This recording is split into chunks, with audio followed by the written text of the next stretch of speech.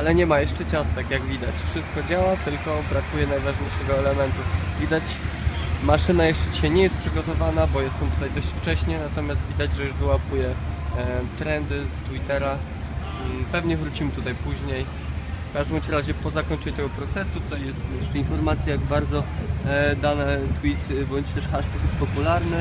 E, tutaj w dyspensorze będzie można odbierać ciastka tutaj widać cała maszyneria pracuje wszystko ładnie działa.